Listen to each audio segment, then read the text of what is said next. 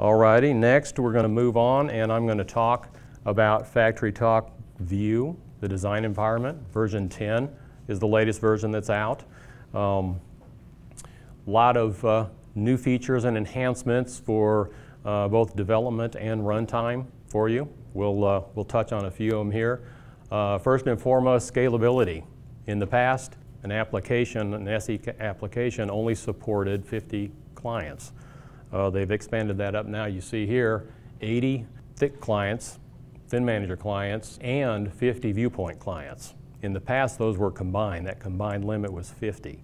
So now it's a total of 130 uh, client applications. So you can see now that uh, it supports, I mean, a much larger application from a single point.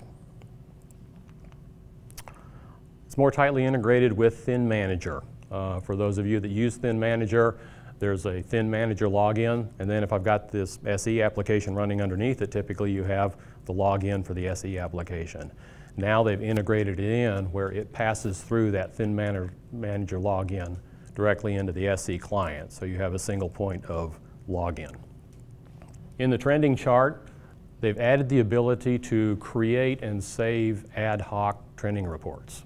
If you've ever used the FactoryTalk uh, Vantage Point product, one of the features of it is this ad hoc trending tool that allows you to just grab anything, create it, save it, and then access it, you know, at another time or let anyone else access it now. That's been built into version 10 of the View SE product too. So now you can create these um, custom reports or custom trends, save them, someone else could access them, you can access, access them on another client or whatever.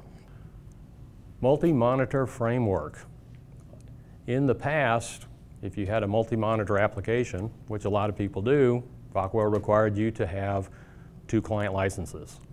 Or if you didn't want to do that, they had a way you could resize your application across the resolution of the multi-monitors. A lot of hoops you had to go through to make it work across multi-monitors.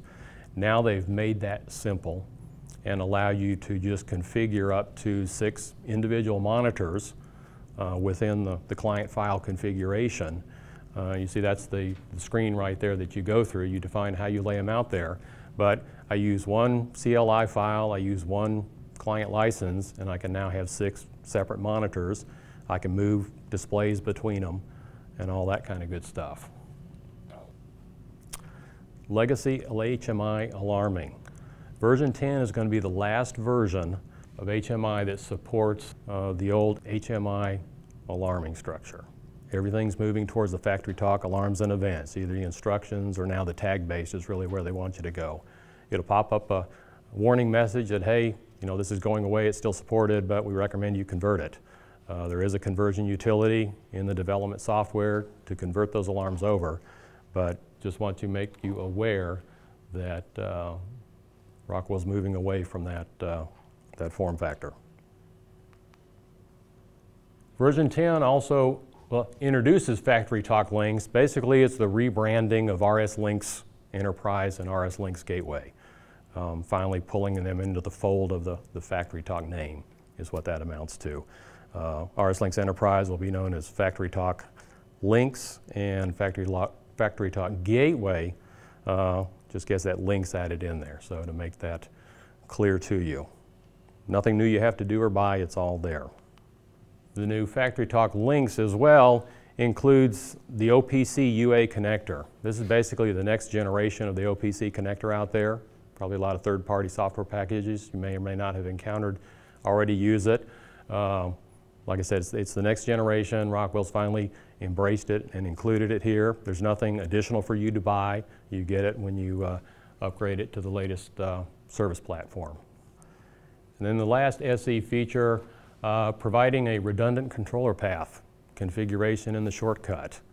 Single shortcut, two paths, running together, but it's only communicating via one. But obviously the benefit is, you know, if you have some network issue or something like that, you'll still have your communication to your controller there. Fast switch over time, so it minimizes that impact uh, on your HMI should something happen to your network there. Over on the ME side, for those of you that have had to migrate legacy projects to newer versions, basically 32-bit to 64-bit, Um, you've had to maintain that 32-bit OS computer, or you've called Jeff or myself and asked us to do that conversion for you. Well, with version 10 now, that's done natively within the development software itself. So it will take care of that conversion uh, on a 64-bit box. So you don't have to maintain that 32-bit OS or computer or try to find it if you can find one. Neat little small feature here that they've added in finally. Usually when there's an issue with a PanelView terminal, the first question is always, what version is it?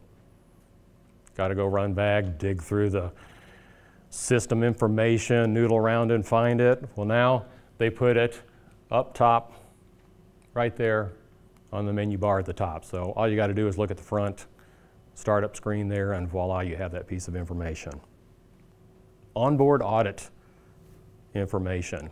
Uh, the PanelView is not supported in the patch and regulated uh, industries out there, uh, regulatory compliance and things like that. PanelView has not supported being able to provide that uh, audit trail information. Uh, it now does that. Uh, it stores up to 10,000 items on there. Uh, it's got an audit trail list that you can look at and then a detailed uh, drill down list that you can access that information as well.